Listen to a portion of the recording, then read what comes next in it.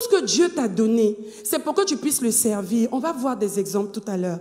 Tout ce que Dieu a mis à notre disposition doit être mis à la, à la, à la, au service d'un Dieu si grand. Un Dieu qui, dans tout notre parcours, ne nous a pas jetés dehors, n'a pas marché, n'a pas décidé de nous oublier, mais qui a décidé de nous mettre, continuer de nous, de nous appeler et de tenir compte de nous et de nous inclure dans son schéma et dans son plan. Nous devons tout donner pour Dieu. Ceux qui ont rencontré le Seigneur, celles qui ont rencontré le Seigneur, c'est une grâce inouïe.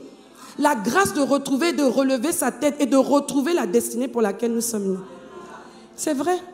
Quand nous naissons, nous les femmes, toutes petites, toutes jeunes, on vient sur la terre, des toutes petites filles. Souvenez-vous quand vous étiez toutes petites. On est dans une famille, on est aimé pour certains, d'autres même rejetés, peut-être d'autres on a tenté de nous faire partir. Mais par la grâce de Dieu, on a survécu. Il y en a même qui sont sortis avec le stérilet dans leurs mains. Tout ça parce que Dieu avait un plan pour. Et donc la femme, quand elle naît toute petite, elle regarde sa mère. Son premier modèle, c'est qui? C'est sa maman. Vous voyez les petites filles partout où elles se trouvent, elles sont toujours en train d'imiter leur maman. C'est pour ça que vous allez trouver toujours les petites filles en train de faire la cuisine, les dîners et tout et tout, parce qu'elles se disent, je suis un peu comme la petite maman. Elle a tendance, même quand elle est toute petite, à essayer de prendre soin de ses frères, de ses sœurs, de s'occuper de la maison, parce qu'elle sent à l'intérieur d'elle, en fait, un instinct maternel, un instinct à être utile pour tous ceux qui sont autour d'elle, en fait. Et c'est ça. Cet instinct-là, c'est quelque chose que Dieu nous a donné depuis Ève. Et la beauté de, de la création, moi, ça m'a toujours émerveillé. Regardez comment Dieu nous crée. Dieu prend l'homme de la poussière du sol le lion était déjà passé là, il a déféqué, il a fait pipi. Mhm. N'est-ce pas? Le révérend le dit tout le temps. Moi, en fait, c'est vrai qu'avant, je lisais la Bible, mais cette partie, je ne m'étais jamais vraiment arrêtée là-dessus. Le jour qu'il a parlé de ça, je me suis dit, tiens, mais c'est vrai en plus. Dans la chronologie, et la dame, elle vient après. La femme. Dieu, la, Dieu met l'homme dans un profond sommet. Après qu'il ait d'abord constaté qu'il a besoin d'elle, parce qu'on ne pouvait pas l'emmener sans ça. Sinon, il n'allait pas la valoriser. Donc elle arrive et Dieu la sort de la côte. Une côte là, elle est blanche. C'est vrai que comme c'est vrai, c'est vrai qu'elle est un peu tordue, c'est vrai. Ça aussi, il faut le reconnaître. Mais elle est flexible, en fait. Ça lui permet d'être justement flexible et de jouer son rôle. Donc, la femme, elle naît, elle apparaît dans un contexte qui est complètement différent. C'est la seule créature, en fait, pour laquelle Dieu a dû, c'est-à-dire faire mourir quelqu'un, faire, faire, faire endormir quelqu'un, pas mourir, et sortir d'un autre être. C'est la seule. Donc c'est pour te dire ce soir que non, quel que soit ce que tu as pu entendre, et ça on va, on va pouvoir le voir tout à l'heure, je veux te dire ce soir que tu n'es pas n'importe qui. Tu as une place de choix. Et le diable, c'est vrai, tout au long de ta vie, on va le voir, va s'arranger pour que tu puisses casser tous tes clichés, tous tes rêves tes aspirations. Mais il faut que tu te dises, quand tu as retrouvé le Seigneur, c'est encore possible. Dis, c'est encore possible. Et ça va se faire. C'est pas perdu rien n'est perdu. Donc la petite fille, elle grandit, et puis au fur et à mesure, elle se rend compte qu'elle est pubère. Elle se rend compte que bon, la puberté est arrivée et tout et tout. Et puis tout de suite, elle réalise qu'en fait le regard des autres, le regard extérieur a changé sur sa personne. En fait, c'est ce qui dérange beaucoup pendant la crise de puberté. Parce que tu étais une petite fille innocente, tu jouais comme tout le monde, tu t'habillais, tu faisais. Et puis à un certain moment, tout le monde t'interpelle. Ah non, non, non, maintenant tu peux plus faire ça. Il faut faire attention. Et tu réalises qu'il y a un regard différent qui est posé sur toi, le regard du désir, le regard de quelque, un objet, quelque chose qui peut aller plus loin que la petite fille innocente qu'on connaissait.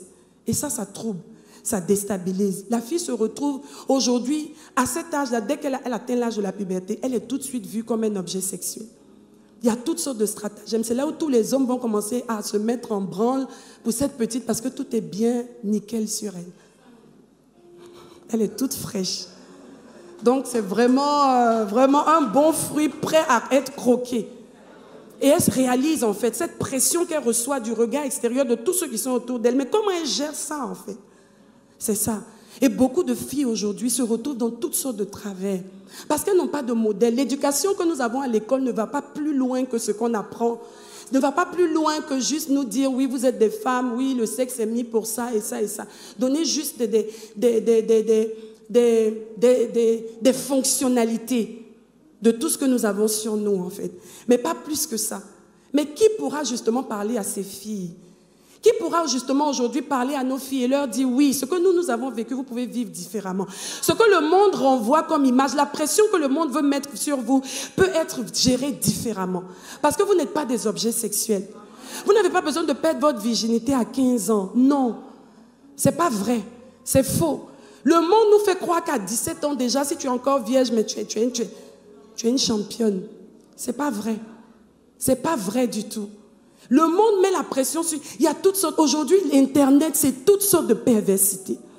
Donc, nos enfants, si nous les laissons, alors que nous savons, nous-mêmes qui sommes ici femmes, ce que nous avons pu vivre justement pendant cette période, toute cette transition, ce serait un crime pour nous de ne pas nous décider à agir différemment pour que nos filles ne puissent pas entrer dans les mêmes clichés, pour que nos filles puissent échapper justement à toutes ces, stigmatisations, toutes ces étiquettes qu'on veut mettre sur la femme. La femme n'est pas un objet sexuel.